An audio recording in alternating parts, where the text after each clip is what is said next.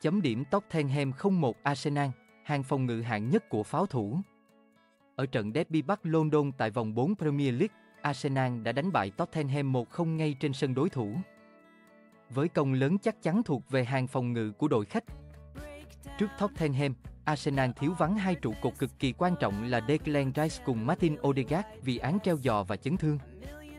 Trong bối cảnh nhân sự như vậy, huấn luyện viên Mikel Arteta đã cho Arsenal đá phòng ngự phản công và hàng thủ không làm ông thất vọng. Biết mình biết ta, bộ tứ vệ gồm Ben White, William Saliba, Gabriel và Jurin Timber đã phong tỏa gần như toàn bộ các mũi tấn công của Tottenham. Cặp trung vệ Saliba, Gabriel đã trải qua ngày thi đấu xuất sắc khi bịt kín trung lộ, buộc Spurs phải sử dụng nhiều các tình huống bắn phá từ xa song không hiệu quả.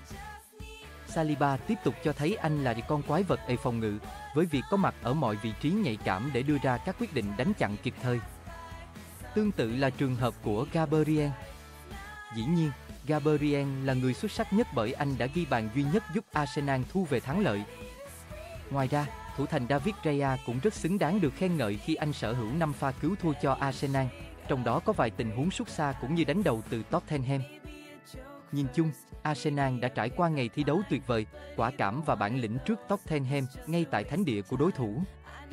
Chấm điểm cụ thể Tottenham, Vicario, 7, Poro, 6, Romero, 5, Van Jeven, 6, Udogi, 6, Bentancur, 6, Kulusevski, 6, Madison, 7, Son, 6, Solanke, 6, Johnson, 6, Arsenal, Ray 8, Y, 7.5, Saliba, 8.5, Gabriel, 9, Timber, 7, Jorginho, 6, Hati, 7, Trossard, 7, Saka, 7, Havertz, 7, Martinez 7,